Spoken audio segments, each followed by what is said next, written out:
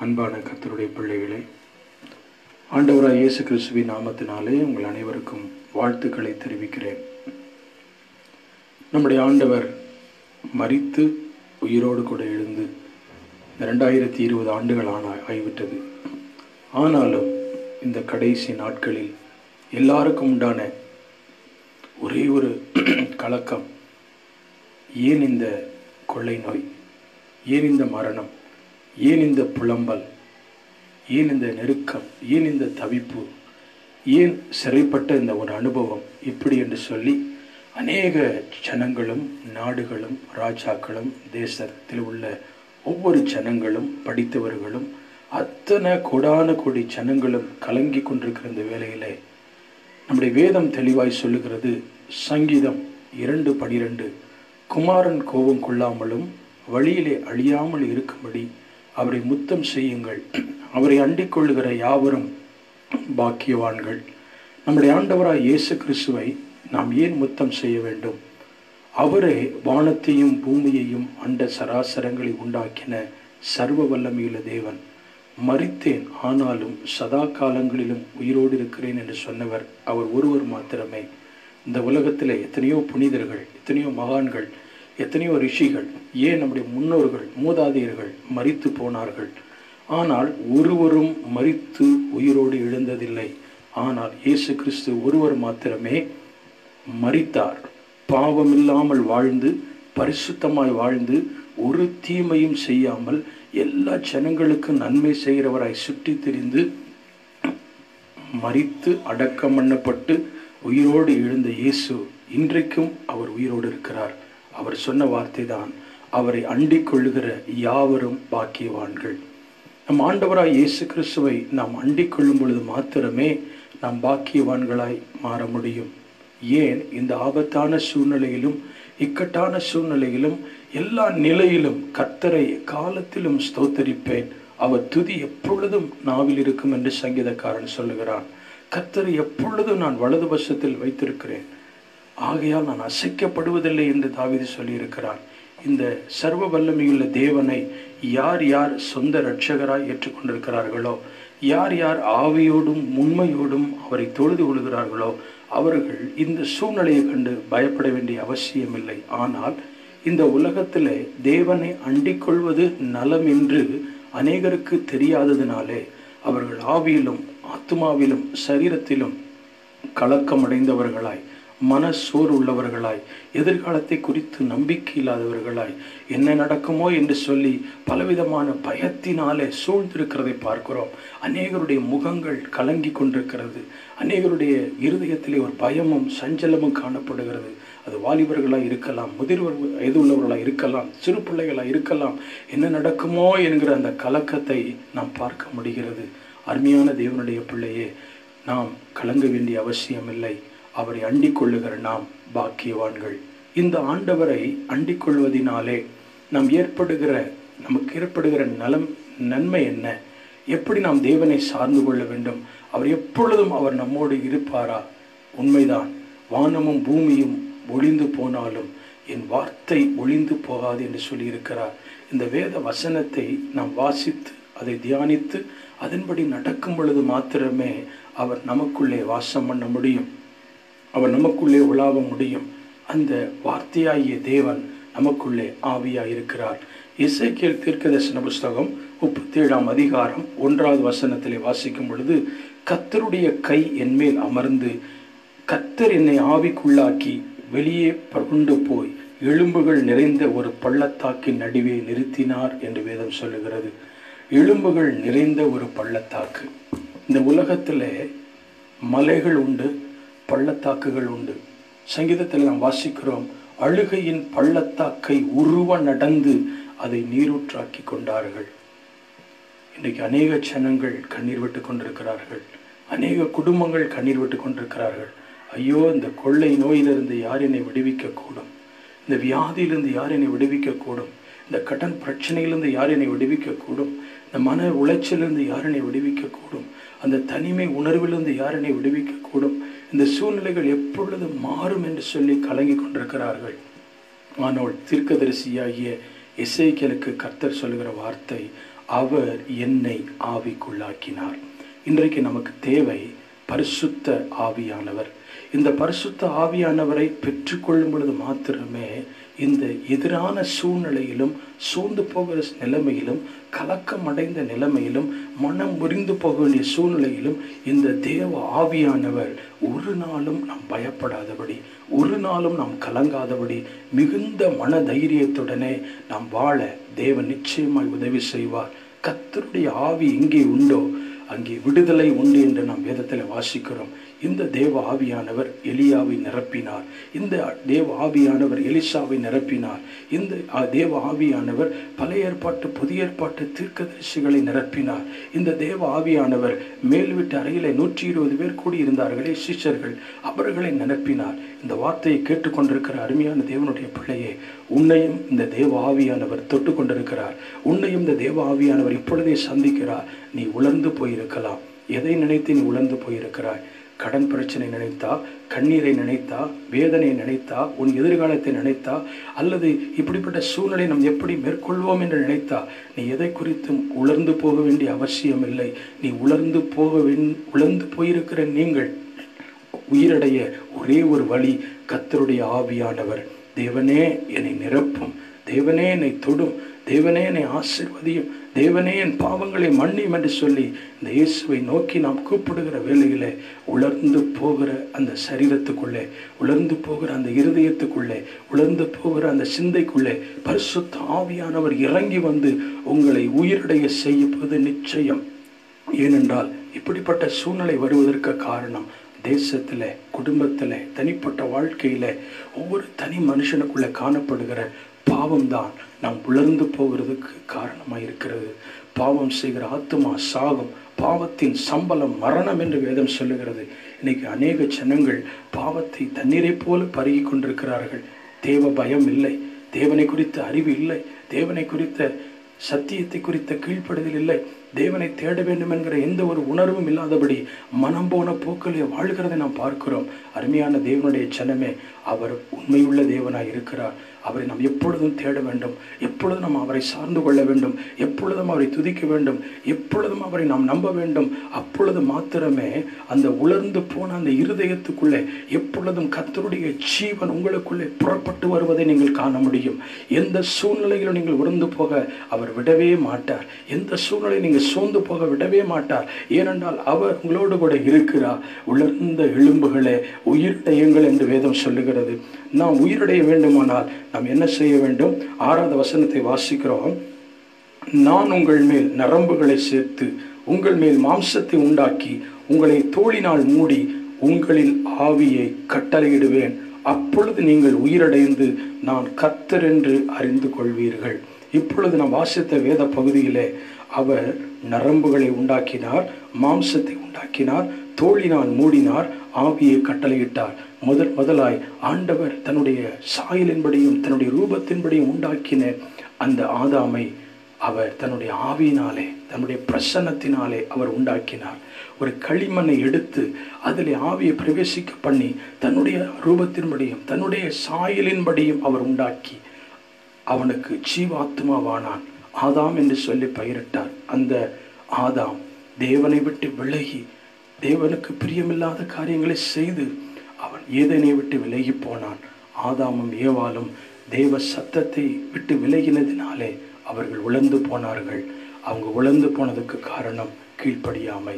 ஒரு தனி மனுஷனுடைய கீழ்ப்படியாமை முழு உலகத்தையும் சாபத்துக்குள்ளும் பாவத்துக்குள்ளும் அடிமைப்படுத்துமானால் இன்னைக்கு எத்தனையோ கோடி ஜனங்கள் தேவ சத்தத்தை கேளாமலும் தேவ பிரசன்னத்தை உணராமலும் தேவனுடைய மகிமையை காணாமலும் இருக்கும் பொழுது எப்படி தேவனுடைய கோபம் வராமல் இருக்க முடியும்? அவருடைய கோபம் நம்முடைய குடும்பத்திலும் நம்முடைய தனிப்பட்ட வாழ்க்கையிலும் நம்முடைய தேசத்திலும் வராமல் இருக்க வேண்டுமானால் அவரை அண்டிக்கொள்ள வேண்டும் வேண்டியது அவசியம். ஆண்டவரே நான் உம்முடைய சாயலின்படி படைக்கப்பட்டவன் உம்முடைய ரூபத்தின்படி படைக்கப்பட்டவன். நீ என்னை உண்டாக்கியிருக்கிறீர். எனக்கு ஏராளமான நன்மைகளை செய்திருக்கிறீர். உன்ன உணவு கொடுத்திருக்கிறீர். உடுக்க உடையை கொடுத்திருக்கிறீர். தங்க இடத்தை கொடுத்திருக்கிறீர். ஏராளமான நன்மைகளை எனக்கு செய்திருக்கிறீர். ஆகவே நான் உமக்கு நன்றி உள்ளவனாய் இருக்கிறேன். எப்பொழுதுமை நம்புகிறேன். எப்பொழுதுமை ஸ்தோத்திருக்கிறேன். எப்பொழுதும் நமக்குள்ளே வாழ விரும்புகிறேன் என்று சொல்லி இந்த இடைவிடாமல் அந்த தேவனை நாம் நேசிக்க ஆராதிக்க பழகுவோமானால் நிச்சயமாகவே கத்தருடைய ஆவியானவர் நம்மை உழந்து போக ஒரு நாள் விடமாட்டார். ஒவ்வொரு நாளும் நீங்கள் உயிரடைவீர்கள். ஒவ்வொரு நாளும் நீங்கள் பலனடைவீர்கள். ஒவ்வொரு நாள் நீங்கள் சாட்சியாயிருப்பீர்கள்.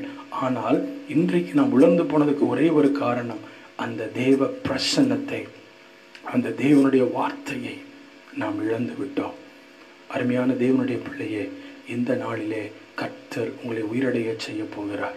கர்த்தருடைய வார்த்தை உங்களுடைய உயிரடைய செய்ய போகிறது. இந்த ஜீவனுள்ள வார்த்தை தான் உங்களை உயிரடைய செய்ய முடியும். சில வேதத்திலிருந்து சில சம்பவங்களை சொல்லி நாம் கர்த்தருடைய வார்த்தையை நான் முடிக்க விரும்புகிறேன். வேதத்தில் நாம் பார்க்கிறோம் உலர்ந்து போன மனுஷர்கள் அநேகர் உண்டு. ராஜாக்கள் புஸ்தகத்தில் ஒன்று ராஜாக்கள்லே நாம் பாசிக்கிறோம் அந்த சமரிய ஸ்திரீ சாரிபாத் சாரிபாத் விதவை அன்றைக்கு தேசமெல்லாம் பஞ்சம் வந்த பொழுது தேசமெல்லாம் பஞ்சம் வந்த பொழுது அவள் மிகவும் வேதனை உள்ளவளாய் நானும் என் பிள்ளையாண்டானும் சாப்பிட்டு சாகப் போகிறோம் என்று சொல்லி அவள் நினைத்த பொழுது அந்த சாரிபாத்துக்கு எலியாவை தேவன் அனுப்பினார். தேவனுடைய மனுஷன் வந்த உடனே தேவனுடைய மனுஷனுடைய வார்த்தையை கேட்டு அவள் கீழ்ப்படிந்த உடனே அவருடைய பஞ்ச காலம் மாறியது. அவருடைய குறைவு நிறைவானது. மறித்து போவேன் என்று சொன்னவள் தானும் தன் பிள்ளையும் பிழைக்கவும் அந்த ஊழியக்காரன் பிழைக்கவும் செய்தார். தேவனுடைய பிள்ளையே அந்த தேவ மனுஷன் தேவ வார்த்தையை சுமந்து கொண்டு போனால் அந்த சாரிபாத்திலே அந்த விதவை பிழைத்தாள். உழந்து போன நிலைமையிலே பிழைக்க செய்தது தேவனுடைய வார்த்தை மாத்திரமே. தேவனுடைய வார்த்தை மாத்திரமே. அதே போல வேதத்தில் யோவான் எழுந்த சுவிசேஷத்தில் வாசிக்கிறோம் சமரியா என்கிற ஒரு ந- ஒரு தேசத்துக்கு ஆண்டவர் போகிறார். அங்கே ஒரு கிணற்றண்டையிலே அவர் உட்கார்ந்திருக்கும் பொழுது சமரியா நாட்டாளாய் சமரியா தேசத்தை தெரிந்த ஒரு ஸ்திரீ அந்த கிணற்றண்டையிலே யாக்கோவின் கிணற்றண்டையிலே அது தண்ணி முள்ள வழு வருகிறாள். அவள் தேவனை அறியாதவள் தேவனை தொழுது கொள்ளாதவள். அவள் பாவத்தின் அடிமைத்தனத்தில் இருந்தபடியினாலே அவள் தாகமுள்ளவளாய் இருந்தாள். அவளுக்குள்ள தாகம் தன் பாவம் மன்னிக்கப்படவில்லையே. தன் பாவத்தை மன்னிக்கிற மேசியா யார்? ரட்சகர் யார் என்று அறியாமல் இருந்தாள். ஆனால் ஆண்டவராய் இயேசு கிறிஸ்து தன்னை பாவத்தை மன்னிக்கிற அல்லது ஜனங்களை ரட்சிக்கிற ரட்சகர் மேசியா என்பதை அவளுக்கு வெளிப்படுத்தி அவள் அந்தரங்க வாழ்க்கையில செய்த அத்தனை பாவங்களையும் அவளுக்கு வெளிப்படுத்தினபடினாலே இவர் மெய்யாகவே தீர்க்கதரிசி என்று சொல்லி அவள் உணர்வடைந்தவளாய் அந்த தேசத்திற்கு போய் நான் மேசியாவை கண்டேன் என்று சொல்லி அந்த சமரியா கிராமத்திலிருந்து அத்தனை பேரையும் இயேசுவிடத்தில் கொண்டு வந்து நிறுத்தினார் காரணம் அவளுக்குள்ளே உடனடியான ஒரு மனம் திரும்புதல் வந்தது. ஏன்? இயேசு கிறிஸ்து எப்பொழுதும் பரிசுத்த ஆவியானவரால் நிரப்பப்பட்டவராய் காணப்பட்டார். அவருக்குள் இருக்கிற அந்த தேவ பிரசன்னம் அவளை பாவ உணர்வு அடைய செய்தது. பாவ உணர்வு அடைய செய்தது.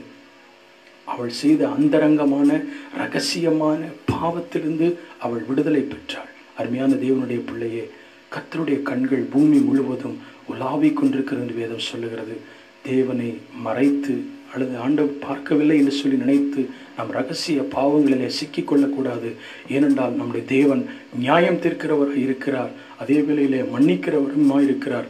அவள் தேவனுடைய இரக்கத்தை சம்பாதிக்கும்படி தேவனை அறிந்து கொண்டாள். அந்த சமரியா ஸ்திரீ எப்படி மனம் திரும்பினாளோ அதே போல நாம் தேவ தேவனை நாம் அறிந்து கொள்ளும் பொழுது அவருக்குள் இருக்கிற அந்த தேவ மகிமை அவருக்குள் இருக்கிற அந்த தேவ பிரசன்னம் நம்மை சந்திக்கும் பொழுது நிச்சயமாய் உயிரடைவோம். அதே போல இன்னொரு சம்பவத்தை நாம் வாசிக்கிறோம். யோவான் எழுந்த சுவிசேஷத்தில் மரியாள் மார்த்தாள் என்ற சகோதரி உண்டு. அவருக்கு ஒரு லாசரு என்கிற ஒரு சகோதரன் இருக்கிறார். அவன் அநேக நாட்களாய் அவன் வியாதி உள்ளவனாய் இருந்து மறித்து போனான். அன்றுவரே நீர் சிநேகிக்கிற மனுஷன் வியாதியாக இருக்கிறான் என்று சொல்லி அவர்கள் சொல்லும் பொழுது இயேசு நாலு நாளாயிற்று வியாதி உள்ளவன் மறித்து போனான். இயேசு அந்த பெத்தானியாவுக்கு கடந்து வந்தார். நாலு நாளான பிறகும் அவர் அந்த ஊரின் வாசலருகே வந்து நின்றார். மார்த்தாள் ஓடி வந்து இயேசுவின் பாதத்தில் விழுந்து அழுது கண்ணீர் விட்ட பொழுது இயேசு ஆவியில் கலங்கி கண்ணீர் விட்டார். ஆண்டவரே நாலு நாளாயிற்று நாருமே என்று சொன்ன பொழுது ஆண்டவர் சொன்னார் நீ விசுவாசித்தால் தேவ மகிமையை காண்பாய். தே நீ விசுவாசித்தால் தேவ மகிமையை காண்பாய். அப்பொழுது ஆண்டவர் ஜெபம் பண்ணுகிறார். வானத்தை அண்ணாந்து பார்த்து ஸ்தோத்திரம் பண்ணி அங்கிருக்கிற அநேக ஜனங்கள் விசுவாசிக்கும்படிக்கு லாசருவே வெளியவா என்று சொல்லி அவர் உரத்த சத்தத்தோடு அதிகாரத்தோடு ஜெபம் பண்ணினார். நான்கு நாட்களாய் மறித்து போய் கல்லறையில் கடந்த மனுஷன் உயிரோடு எழுந்தார். அருமையான தேவனுடைய பிள்ளையே ஆண்டவருடைய அன்பு வெளியேற பெற்றது ஆண்டவருடைய அன்பு விலையேற பெற்றது அந்த மரியாளும் மாத்தாளும் தேவனை அதிகமாய் நேசித்தார்கள். தான் வீட்டிலே தேவனை ஏற்றுக்கொண்டார்கள். அந்த அநேகர் இன்றைக்கு வீட்டில் தான் இருக்கிறோம். அநேகர் வெளியில் நடமாட முடியவில்லை. அநேகர் சுதந்திரமாய் வாழ முடியவில்லை. ஆனால் இந்த இயேசுவை அவர் வீட்டுக்குள் வருந்தி அழைத்தார்கள். வாசல் படிந்து கதவை தட்டுகிறேன். சத்தத்தை கேட்டு கதவை திறந்தாள். அவனுக்குள் பிரவேசித்து அவனோடு போஜனம் பண்ணுவேன் என்று சொன்ன ஆண்டவர் இந்த நாளிலே வீட்டுக்குள் இருந்து இந்த வார்த்தையை கேட்டுக்கொண்டிருக்கிற அருமையான தேவனுடைய பிள்ளையே இயேசுவே என் வீட்டுக்குள் வாரும். இயேசுவே என் உள்ளத்துக்குள் வாரும் என்று சொல்லி நீங்கள் கூப்பிடுவீர்களே. ஆனால் அவர் வந்து நீங்கள் எந்த சூழ்நிலையிலே நீங்கள் இருந்தாலும் சரி உங்கள் உறவினர்கள் நண்பர்கள் இனபன சந்துக்கள் இருந்தாலும் சரி நீங்கள் ஆண்டவராய் இயேசு கிறிஸ்துவிடத்திலே நீங்கள் விசுவாசம் வைக்கும் பொழுது நிச்சயமாய் உயிரடைவீர்கள். முதலாவது சொன்னேன் நீங்கள் ஆண்டவருடைய வார்த்தையை நம்பும் பொழுது ஆண்டவருடைய வார்த்தையை நம்பும் பொழுது அந்த எளியா தீர்க்கதரிசி சொன்ன வார்த்தையை அந்த சாரிபாத் விதவை நம்பினாள் உடனே அவருடைய சூழ்நிலைகள் அந்த பஞ்ச காலங்கள் மாறியது. ஆண்டுடைய வார்த்தையை நம்புங்கள். ரெண்டாவது சமரியா நாட்டாளான ஒரு ஸ்திரீ அநேக பாவங்களை செய்து ரகசிய பாவங்களை செய்து தேவனுக்கு பிரியமில்லாமல் வாழ்ந்தவள். அவள் தேவ பிரசன்னத்தை பரிசுத்த ஆவியானவர் தேவனுக்குள் இருந்தார். அந்த தேவ மகிமையை அந்த தேவ பிரசன்னத்தை பரிசுத்தமுள்ள அந்த தேவனை அவள் அறிந்து கொண்டபடியினாலே அவள் பாவ உணர்வடைந்து விடுதலை பெற்றாள். நீங்கள் தேவனை அறிந்து கொள்ளும்படி நீங்கள் முயற்சி செய்யுங்கள். அவரை அறிகிற அறிவின் மேன்மை மிகவும் சிறந்தது. தேவனை அறிந்து கொள்ளும்போது மாத்திரமே பாவத்திலிருந்து நாம் விடுதலை பெற முடியும். மூன்றாவதாக நாம் பார்த்தோம். அந்த பெத்தானியா கிராமத்தில் இருந்த மரியாள் மார்த்தாள் லாசரு அந்த மூன்று பேருடைய வாழ்க்கையில் அவருடைய சகோதரன் வியாதியாக இருந்தது. அவர்களுக்கு மிகவும் வேதனையாக இருந்தது. அவன் மறித்தும் போனான். ஆனாலும் இயேசுவை அவர்கள் அதிகமாக நேசித்த ஒரு குடும்பம். ஆண்டவரை அதிகமாய் நேசித்தபடியினாலே ஆண்டவர் அவர்கள் மேல் இரக்கம் வைத்து அன்பு வைத்து ஜீவனுள்ள உயிருள்ளவனாய் கத்தர் அங்கே நிறுத்தினார். ஒருவேளை மரணத்தின் பிடியில அநேகர் இன்றைக்கு தவித்துக் கொண்டிருக்கலாம். இந்த வார்த்தையை கேட்கும் பொழுதே கத்தருடைய ஜீவன் அவர்களுக்குள்ளே கடந்து வருவதாக அந்த கொள்ளை நோயினாலே ஒருவரும் பாதிக்கப்படாதபடி அநேகர் பிழைக்கும்படி ஆண்டவர் இன்றைக்கு இரக்கம் செய்வார். ஆண்டவராய் இயேசு கிறிஸ்துவை அதிகமாய் நேசிப்போம். ஆண்டவரை அதிகமாய் அறிந்து கொள்வோம். அவருடைய வார்த்தையை அதிகமாய் நம்புவோம். நிச்சயமாய் நாம் உயிரடைவோம். காலூன்றி நிற்போம். அவரை அண்டிக் கொள்வது இந்த நாட்களில் மட்டுமல்ல தலைமுறை தலைமுறைக்கும் அது நமக்கு நலமானது மிகவும் மேன்மையானது. கண்களை மூடி செபிப்போம் சர்வ வல்லமையில தேவனே பரலோக பிதாவே இந்த வார்த்தையை கேட்ட முடிய பிள்ளைகளுக்காக நாங்கள் செபிக்கிறோம் ஆண்டவரை உலர்ந்து போன நிலைமையில இருக்கிற ஒவ்வொரு குடும்பத்துக்காக நாங்கள் செபிக்கிறோம். உலர்ந்து போன நிலைமையில் இருக்கிற ஒவ்வொரு பட்டணங்கள் தேசங்களுக்காக நாங்கள் செபிக்கிறோம். ஒருவேளை கத்தருடைய பிள்ளைகள் ஏதோ ஒரு சூழ்நிலையில் நீங்கள் சோர்ந்து போயிருக்கலாம். கத்தர் உங்களை பார்த்து சொல்லுகிற வார்த்தை நீங்கள் உயிரடைவீர்கள். அவரை அண்டிக் கொள்ளும் பொழுது உயிரடைவீர்கள். அவருடைய வார்த்தையை விசுவாசிக்கும் பொழுது நீங்கள் உயிரடைவீர்கள். அவர் பரிசுத்தம் உள்ளவராக இருக்கிறபடினாலே நீங்களும் பரிசுத்தத்தை வாஞ்சிக்கும் பொழுது நீங்கள் உயிரடைவீர்கள். அவருடைய வார்த்தையை ஏற்றுக்கொண்டு நீங்கள் கீழ்ப்படியும் பொழுது உயிரடைவீர்கள். நீங்கள் உயிரடையும் பொழுது அநேக உலர்ந்து போயிருக்கிற ஜனங்களை தேவன் பக்கமாய் கொண்டு வருவீர்கள். தேவன் பக்கமாய் கொண்டு வருவீர்கள். குமாரன் கோபம் கொள்ளாமலும் வழியிலே அழியாமலும் இருக்கும்படி நம் ஆண்டவரை முத்தம் செய்வோம். ஆண்டவரை அண்டிக் கொள்வோம் தேவனுடைய கோபம் அல்ல தேவனுடைய இரக்கம் நம்மேலும் நம்முடைய குடும்பத்தின் மேலும் நம்முடைய சபையின் மேலும் நம்முடைய தேசத்தின் மேலும் எந்நாளும் இருப்பதாக. கத்தத்தாமே தாமே இந்த வார்த்தையின் நிமித்தம் உங்களை ஆசீர்வதிப்பாராக உங்கள் கண்ணீர் துடைக்கப்படுவதாக உங்கள் வேதனைகள் மாறுவதாக எல்லா வியாதிகள் இயேசுவின் நாமத்தில் சுகமடைவதாக எல்லா மனவேதனைகள் இப்பொழுதே மாறுவதாக எல்லா துக்கங்கள் சந்தோஷமாய் மாறட்டும். இயேசு முலப்பிதாவே ஆமே ஆமே